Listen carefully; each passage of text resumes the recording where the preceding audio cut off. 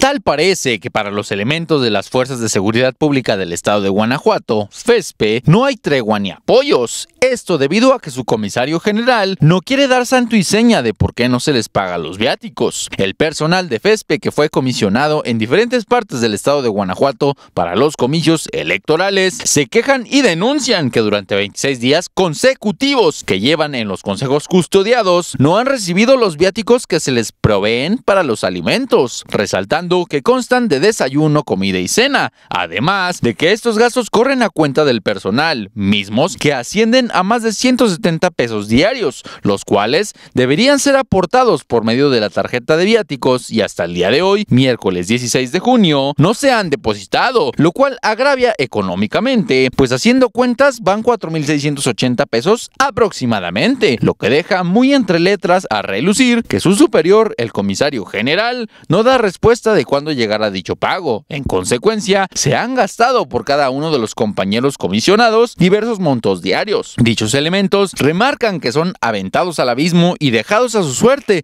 para poder sortear sus alimentos donde en otras votaciones anteriores se depositó en tiempo y forma o se daba la ración seca para cubrir estas necesidades. Además de pagar hasta por 7 mil pesos el apoyo a los comisionados mismos que son solventados por el INE, por lo que alzan la voz en contra de esta administración quienes no cumplen con el pago de viáticos de forma puntual ni siquiera por arriesgar su vida al servicio de la comunidad. Incluso delatan que los altos mandos quieren acaparar el presupuesto sin apoyar a quien tiene que poner de su bolsa para custodiar en tiempos electorales.